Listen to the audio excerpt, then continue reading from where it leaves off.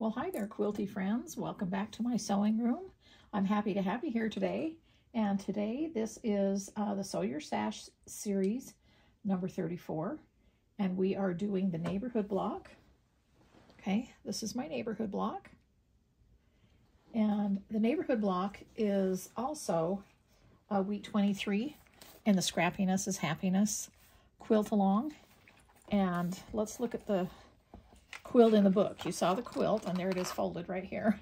You saw the quilt on uh, my sewing room, on my design wall here.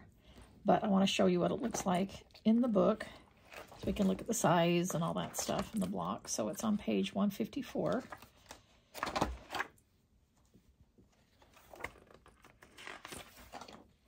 All right, so here is the block right here.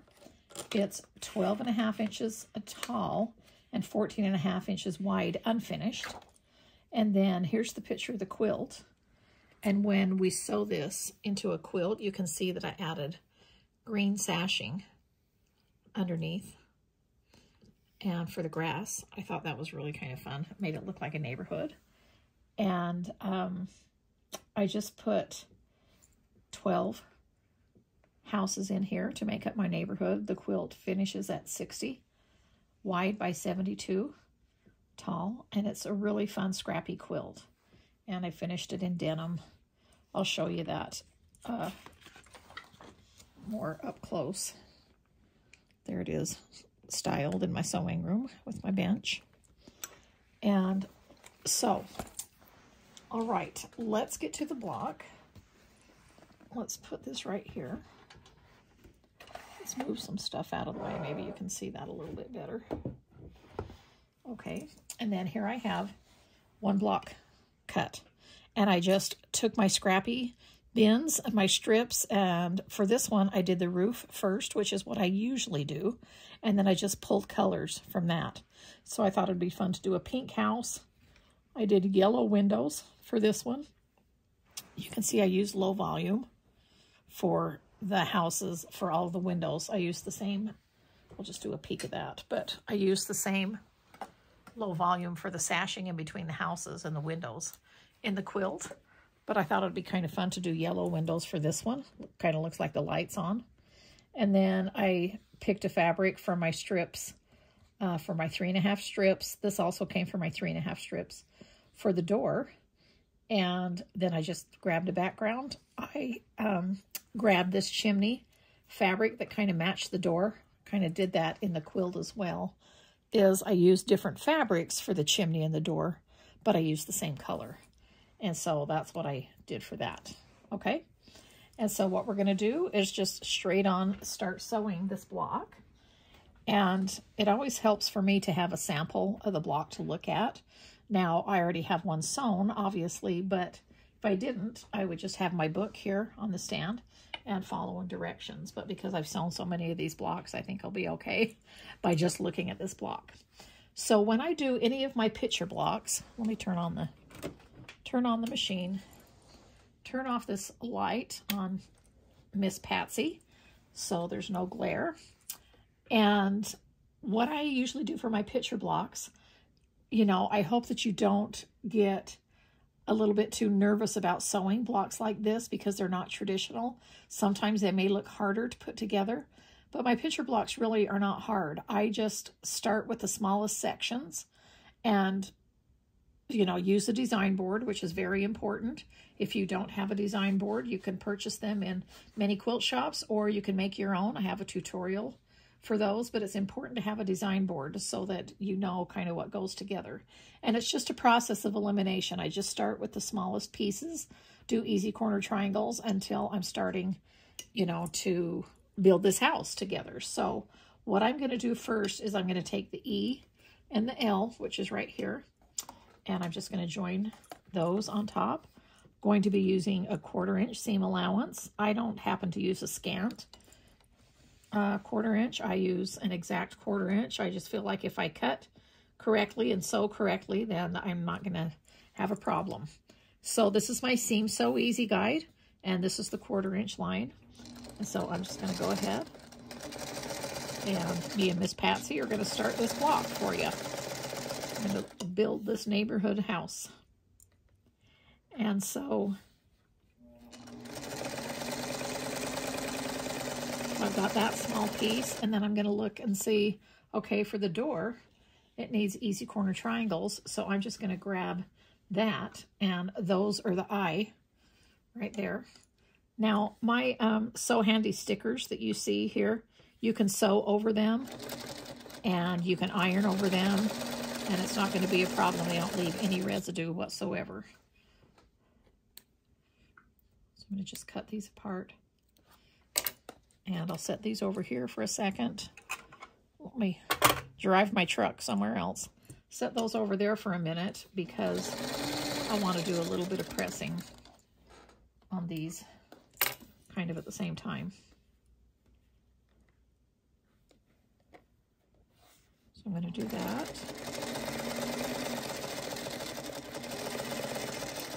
And then I'm going to work on my windows. So on these windows, you can see that I've got a square on the top and a rectangle on the top. So, oh, sorry, not a rectangle. They're all squares. That just looks like a rectangle because I don't have my quarter inch seam allowance there. So these uh, rectangles are tall. And so what I'm going to do is just add these two and a half inch squares on the top and the bottom.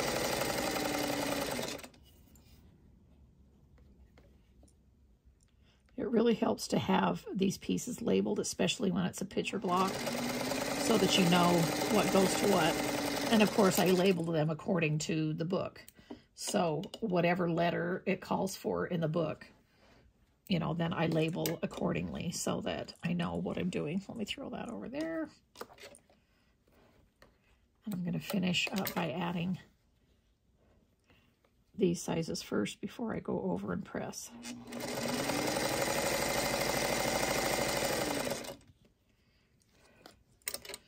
I'm still hoping for spring. I know I told you last week that I was hoping for spring, but we're still cold here in Utah and we still have lots of snow. So I hope it's getting to be spring where you guys live. I know it's going to come. Okay. So I've got the two and a half inch squares on each end. I've got a few things over here that need to be pressed, but I'm going to quickly trim these easy corner triangles off by, you know, leaving about a quarter of an inch seam allowance. Now these right here, I'm not going to worry about pressing open. It's large enough. I'm going to probably press the rest of the block open just so I can show you the difference. See, you can just take that right off. Take that K right off. No residue at all. And I'm going to take these.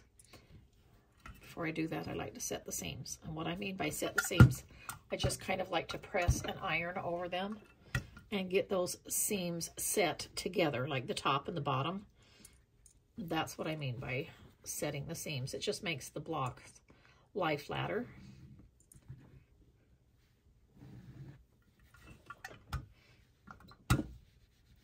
So, you know, there's always two ways to press. You can press this open, or you can press towards the windows or towards the house or whatever. And I usually, you know, I always have arrows in the book to give you suggestions, but that's always just suggestions. And if you have followed me, you know that I normally like to press all of my seams open, especially if I'm doing a smaller block. But this one's a little bit larger, so I'll show you the back of this block that's here on my design board. That's not pressed open, and then this one is, and then I'm going to show you the difference. Okay. Maybe I should let that cool. Put another one on it.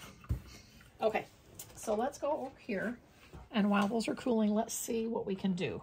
I can't do anything yet to add the strips to the windows or anything to the door yet or anything to those because, you know, I've got those there. But guess what? I can add the easy corner triangles on the roof. So I'm going to go ahead and do that. That is, so the roof is J. These are A. These are just a three and a half inch. This is a three and a half by 14 and a half These are three and a half inch squares. And all I'm going to do with that is line this up correctly right here on the corners. I'm going to start sewing right on this corner right here. And then this center line right here on my Seam Sew Easy guide, I'm going to follow that corner right along that line. And I'm just using a regular stitch length, maybe a little bit shorter than maybe most people use. I don't like to use a really long stitch length. And especially when I'm pressing seams open, I do shorten my stitch a little bit. And then I just got used to shortening it. So now when you're doing easy corner triangles, you want to make sure that you're going to be sewing the correct way that you want it to slant. So I'm going to turn it this way and start on this corner. And then follow that line.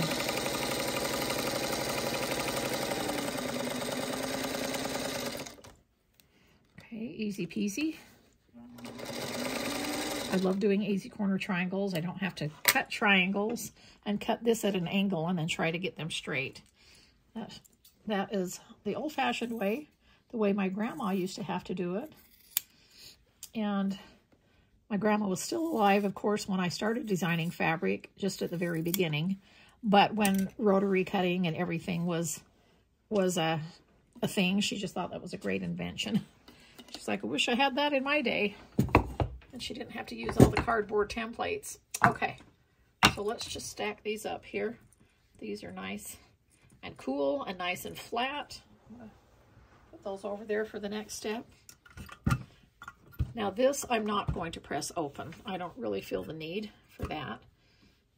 And I'm just going to make sure that this is completely open all the way right here. I don't want any little pleats going on along. Sometimes I'll use my fingers just to feel it. And then same thing here after setting the seams. I just don't want to work it too much because even though it's already sewn and this seam is safe, this is still on the bias and I just don't want to stretch it out. Okay, I'm going to let that cool. And then I'm going to go over here and I'm going to take these two chimneys right here. I'm going to put the C in the middle. Okay.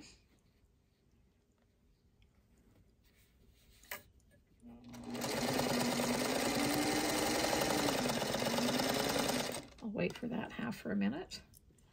On, let's see how I'm going to do this. There's several ways I could do this. I could take the windows and put these strips on each side of the window, and I think that's what I'm going to do. So, or I could have put one strip on each side of the door, but we need to add a piece to the door first. So,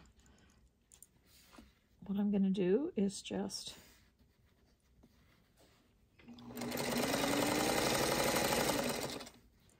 chain piece these, even though it's only one block. I still call it chain piecing when I'm feeding the fabric through one piece after another. Let's grab that. Put these strips here.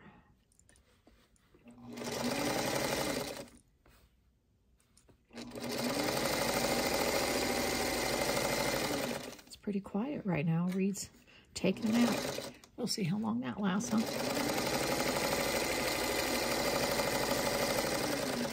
Okay. Now, now that I've got this on the end of my chain, I'm going to go ahead, open it up, and stitch the other side.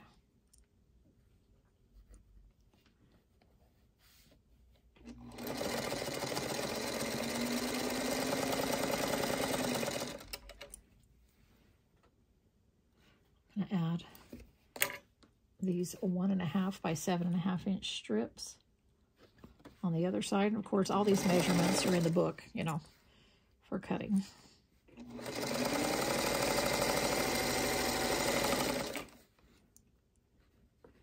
Make sure it's lined up here.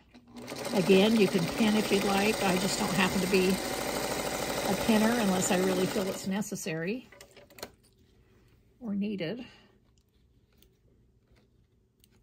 I'm going to put that over there so that I can press that in the next segment. Okay.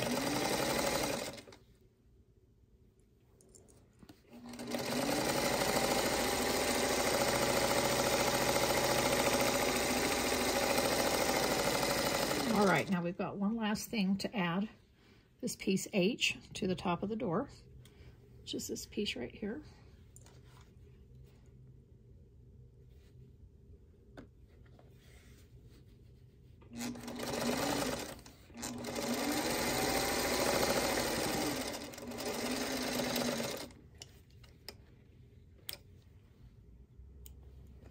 Okay, I'm going to run this scrap of fabric through. We're going to go over and press. And this is nice and flat. So this is three and a half by 14 and a half at this point. I'm going to put this back over here on the design board. I'm going to go ahead and set all these seams. That one's a little bit tricky to set because it doesn't unfold flat. Now these I'm going to press open. And this is, let me grab my seam roller. I really like to use the seam roller first, one, especially when I've got other seams like this. And that's simply to make sure that it is open all the way. This little seam roller comes in handy too when you don't have an iron, like maybe if you're on a retreat and you have to share irons. Sometimes it's nice, you know, just to use the seam roller. Okay, I want to get that open all the way. Make sure there's no pleats in there. And then I can just set the iron on top of it. Get it nice and hot and set that on top. Can't remember if I set those seams, but it doesn't hurt to do it again. And then this door, I don't think I need that open, so you can kind of see how I'm doing things.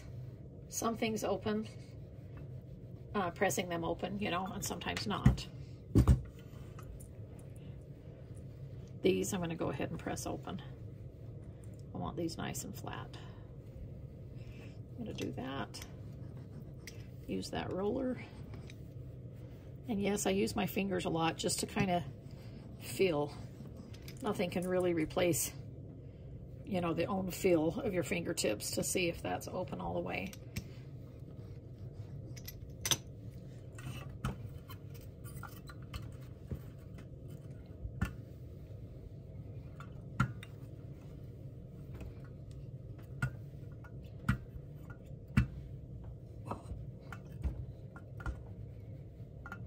heat it up good, and then I'm going to put a clapper right in the middle of it.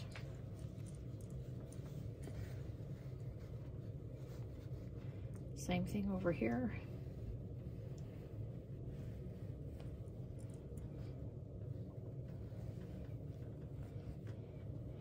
I hope all of you guys are having a good week and you're able to get some quilting in.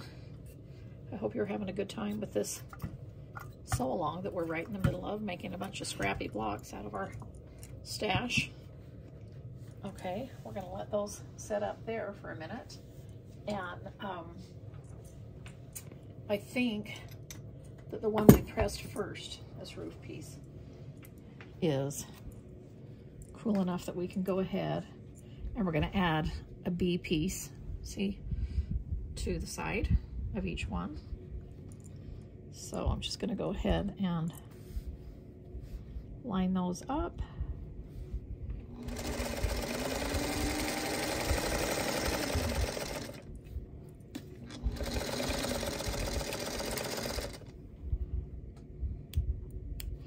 I always have little scraps of fabric at the ready to run underneath my presser foot in between little segments when I'm filming.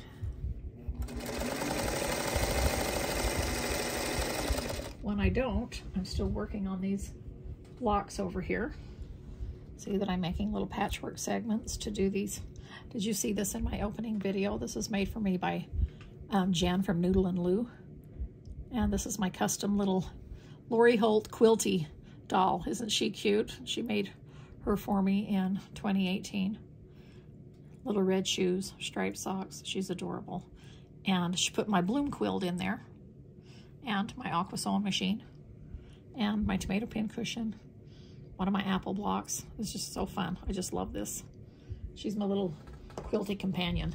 But in between scraps of fabric when I'm just sewing and not filming, then I'm making these blocks here for another quilt and I will show you progress on that at another time. Okay, let's go over here and see what we've got going here. We've got the door that we can lay right there. And we've got these two window pieces. And these, there's no upside down or right side up. So you can just, you know, lay those there on either side. But as you can see, on one side, I'm going to have to put this D background strip So because there's no right side or wrong side, I can just add this background strip to either side that I want. So these houses are super easy, fast, and fun to put together.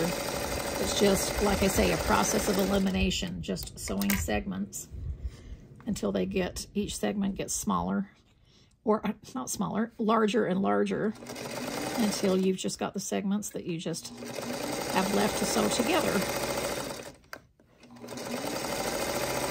And so blocks, you know, my picture blocks, I named them my picture blocks years and years ago because they're not traditional, you know, kind of like pieced quilting blocks. And so I just called them my picture blocks in my first book, Quilty Fun. And I've just stuck with that. And um, sometimes they're intimidating. Sometimes they have a lot of pieces. Sometimes they don't. But I don't think they look intim. I think they look intimidating to some people, but I don't think they're very intimidating at all to sew. And uh, set these seams. And again, you, it's just a process of elimination. You just start with the smaller pieces like this and just do them into sections. Like this is the top of the roof section with the chimneys. And now,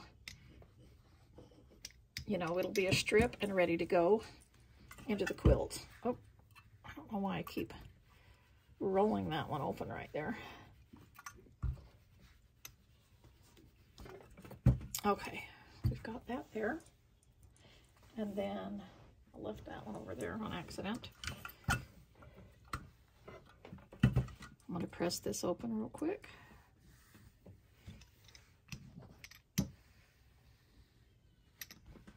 press this open real quick.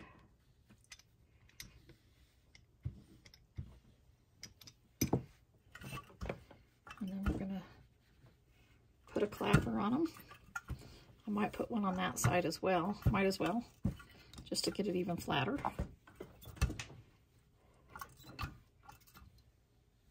If it's got to lay here with a clapper on it, I've got plenty to add to the other side. Okay, we'll let those sit there for just a minute. And let's see. Let's pull this over here.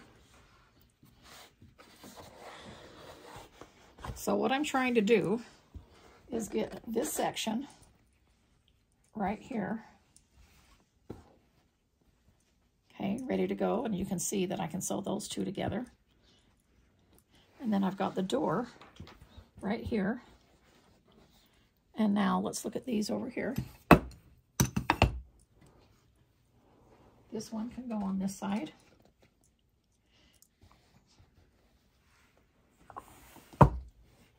This one can go on this side.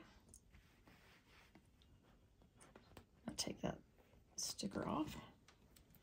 And then I can just sew this whole row together and then sew these together and then sew the whole thing together.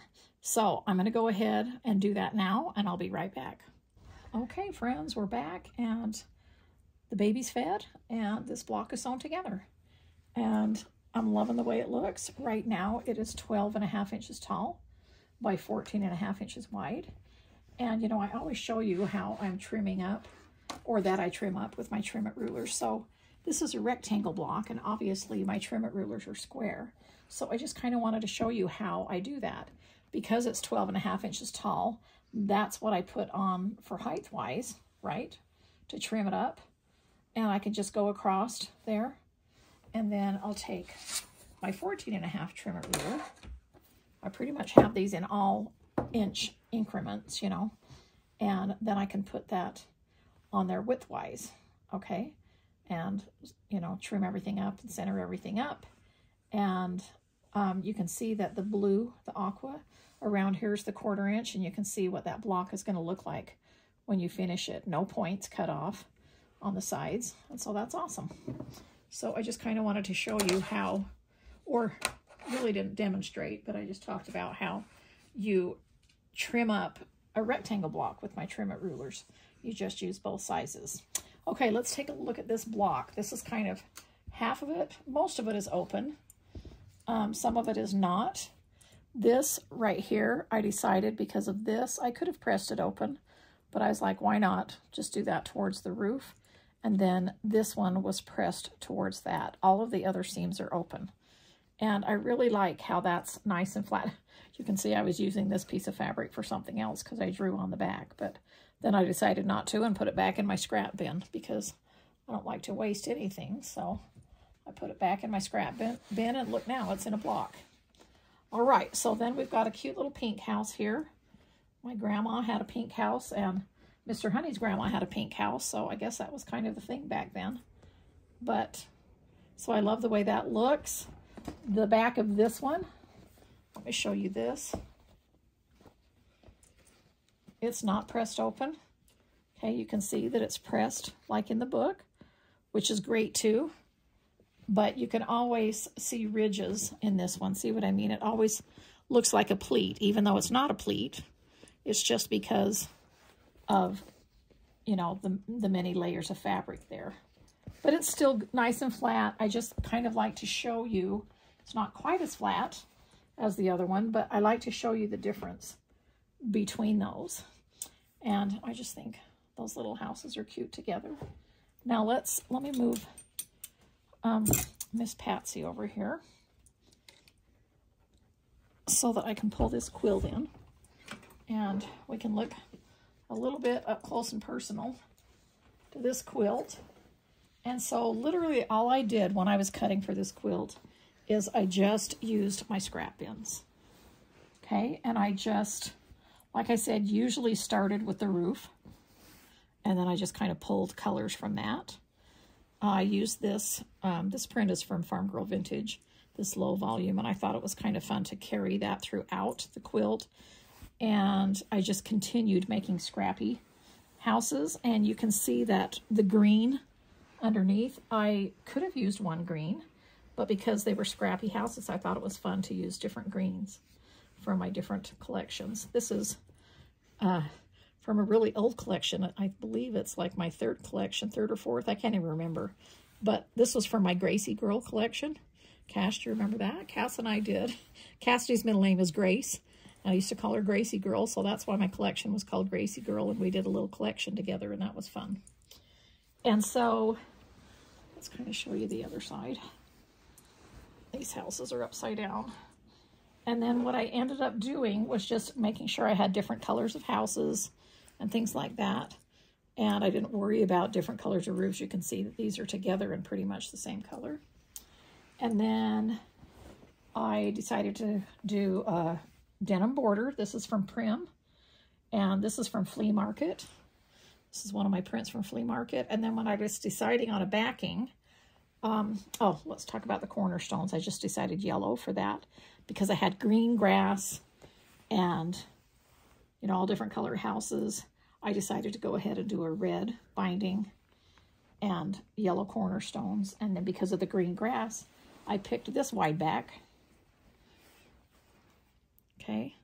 I have this wide back in three colors. I believe it's, there's a yellow ground. No, there's a pink ground, an aqua ground, and a green ground. Okay, and that's from my Vintage Happy 2, I believe. Wide backs. And so I did use the same background throughout which is my bee cross stitch right here. I believe it's in butterscotch or daisy. I can't remember which one, but that's what that looks like there.